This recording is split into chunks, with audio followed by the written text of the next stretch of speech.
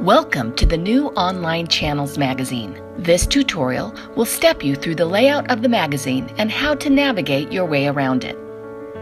Follow the link from your email or visit idahoptv.org slash channels to look at current and back issues. Once you open the document, you will find a toolbar on the bottom right-hand side of your screen.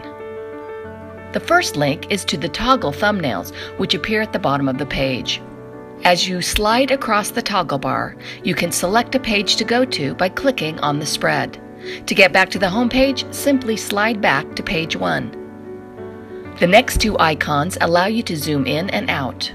If you are on a tablet or smartphone, you can use your fingers to pinch zoom in and out. Holding your mouse button down allows you to navigate the page. The fourth icon allows you to view the document in full screen mode. To leave full screen mode, simply hit escape and you will be returned to the browser view. The fifth icon allows you to share the link via social media or URL. The cloud icon allows you to download the PDF for offline viewing. Now let's explore the document.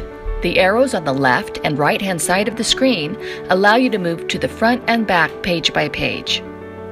When you see the hover finger, you know you are on a clickable link. Simply click on the link to learn more. To return to the document, select the Channels tab on the browser. Learn more about local programming, such as Outdoor Idaho and Dialogue.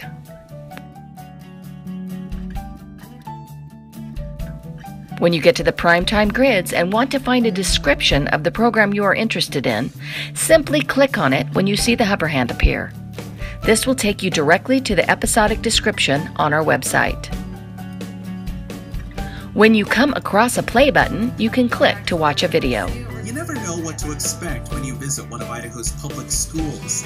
We hope you enjoy this new member benefit. Have fun, explore the online features, and if you have questions, contact us at channels at idahoptv.org.